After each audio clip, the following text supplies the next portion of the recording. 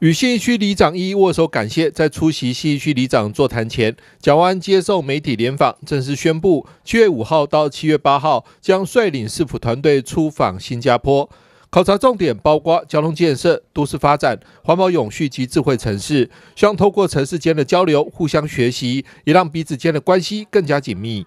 其实很谢谢我们新加坡驻台办事处哦，特别邀请。在议会休会的时候，哦，特别安排七月五号到八号到新加坡出访。那这一次我们主要四个面向哦，就是参访的项目，包括了交通建设、都市发展、环境永续以及智慧城市。所以，我们这四个面向相关的局处，包括都发局、交通局、环保局以及资讯局的首长，也会是访团的成员。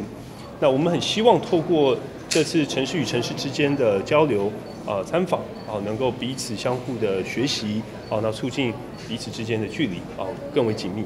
另外，对于台北农产运销公司股东会人事改选刘慧，蒋安表示，目前就是依照程序选出董事，也希望下一波董事会就能完成相关人事安排。蒋万也强调，最重要的还是要确保消费者及农民权益，并维持市场供需稳定。最重要，我们希望啊，一切就依照程序来进行。那人事的部分，我们都希望上任之后。积极努力的来稳定供需，啊，以及确保消费者、农民的权益，以及未来，我相信整个经营的绩效会越来越好。据了解，北农这次投票选二十三名董事，再选出七席常务董事，由常务董事互选决定董事长。确定董事长人选后，将由董事长推派总经理，且人选需经董事会同意。记者张启腾台北报道。